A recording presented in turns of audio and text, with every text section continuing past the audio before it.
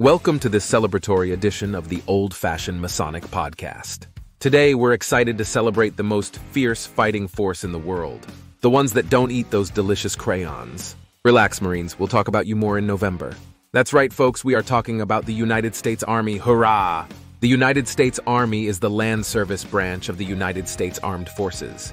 It is one of the eight U.S. uniformed services and is designated as the Army of the United States in the U.S. Constitution. That's right, men, the Constitution put this branch in service. The Army is the oldest branch of the U.S. military and the most senior in order of precedence. It has its roots in the Continental Army, which was formed on June 14, 1775, to fight against the British for independence during the American Revolutionary War. The U.S. Army is a uniformed service of the United States and is part of the Department of the Army, which is one of the three military departments of the Department of Defense. Did you know the U.S. Army is headed by a civilian senior appointed civil servant, the Secretary of the Army, and by a chief military officer, the Chief of Staff of the Army who is also a member of the Joint Chiefs of Staff. It is the largest military branch, and in the fiscal year 2022, the projected end strength for the regular Army was 480,000 soldiers.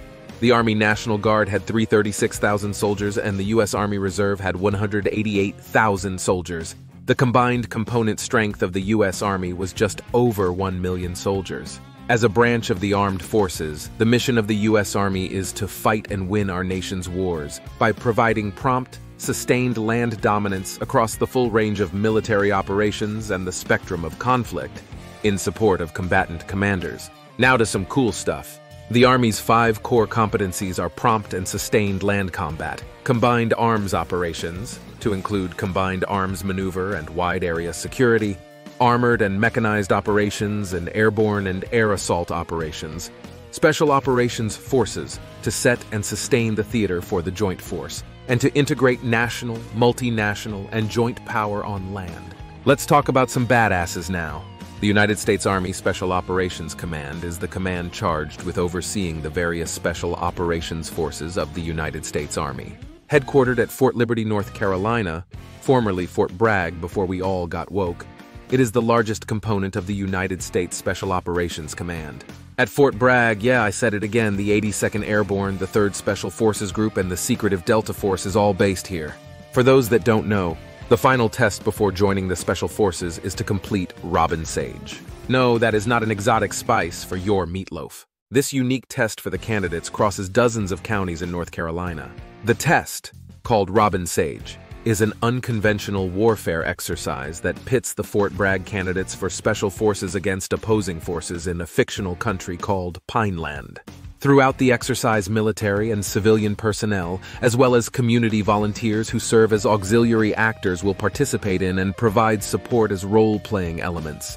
Robin Sage lasts for two weeks and is the final test for students who seek to graduate from the Special Forces Qualification course. Now let's talk about some door kickers, the Rangers. The Army Rangers have a rich history beginning before the Revolutionary War, with units formed by Captain Benjamin Church and Major Robert Rogers. Rogers' 19 standing orders are still used today. During the Revolutionary War, the Continental Congress formed eight companies of expert riflemen, known as the Corps of Rangers, commanded by Dan Morgan and including Francis Marion's partisans. In the War of 1812, ranger companies patrolled from Ohio to Illinois. During the Civil War, John Singleton Mosby became a famous Confederate ranger. After a hiatus, rangers reemerged in World War II with six battalions trained using British commando standards and were led by Colonel William Darby. These battalions fought in North Africa, Normandy, and the Philippines, with notable actions at Pointe du Hoc and the rescue at Cabanatuan. For those that know, Darby phase is quite a challenge. Sorry I digressed. The 75th Infantry Regiment, known as Merrill's Marauders, served in the China-Burma India Theater. Post-World War II, Rangers were active in Korea, forming 15 companies and engaging in scouting and raids. In Vietnam, 15 separate ranger companies were formed, serving until 1972.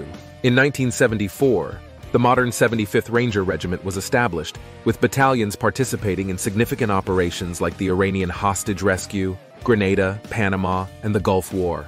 In 1993, they fought in Somalia, exemplified by the Battle of Mogadishu. After September 11th, Rangers led the global war on terrorism, conducting missions in Afghanistan and Iraq. In 2006, the Regimental Special Troops Battalion was activated to support sustained operations. Today, the 75th Ranger Regiment continues to lead global combat operations and trains the next generation of Rangers. Now to some famous Army Freemasons. George Washington, first President of the United States and Commander-in-Chief of the Continental Army during the American Revolutionary War. Andrew Jackson, seventh President of the United States and a Major General in the U.S. Army.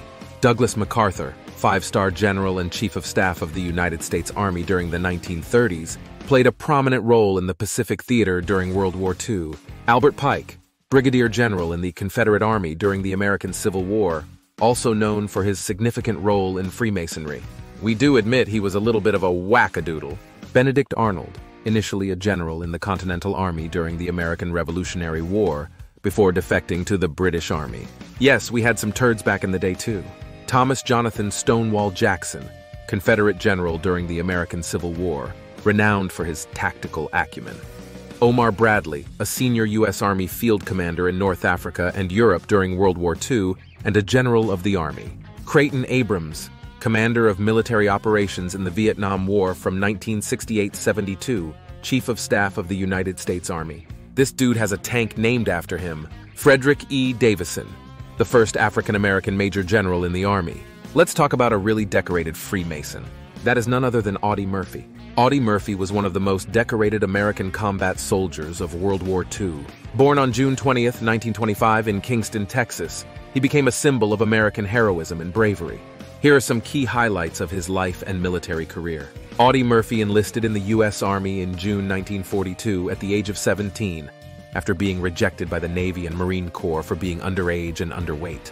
He served in the European Theater of Operations, fighting in campaigns in Italy, France, and Germany.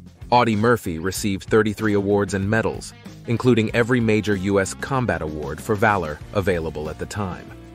These include the Medal of Honor, Distinguished Service Cross, Silver Star, with Oak Leaf Cluster indicating a second award, Legion of Merit, Bronze Star with V device for valor, and the Purple Heart three times. Murphy received the Medal of Honor for his actions on January 26, 1945, near Holzwihr, France. Despite being wounded, he single-handedly held off an entire company of German soldiers for an hour, then led a successful counterattack. After the war, Murphy became an actor, starring in more than 40 films. One of his most notable roles was playing himself in the autobiographical film To Hell and Back, 1955, based on his memoir of the same name. He also became a spokesperson for the treatment of post-traumatic stress disorder, PTSD, then referred to as battle fatigue or shell shock. Audie Murphy died in a plane crash on May 28, 1971, near Catawba, Virginia. He was buried with full military honors at Arlington National Cemetery, where his grave remains one of the most visited. Audie Murphy's legacy as a war hero and his post-war contributions to film and veterans advocacy continue to be remembered and honored. We're sure we missed some, but we've only got so long to keep your attention. Let us know who we missed in the comments. Thanks for watching the Old Fashioned Masonic Podcast. Disclaimer. The views expressed in this video do not necessarily reflect the opinions of the Old Fashioned Masonic Podcast, any Grand Lodge or Shrine Center, and we encourage viewers to conduct their research and form their conclusions based on reliable sources and personal beliefs. So all of the Karens and Kevins with complaints, buzz off.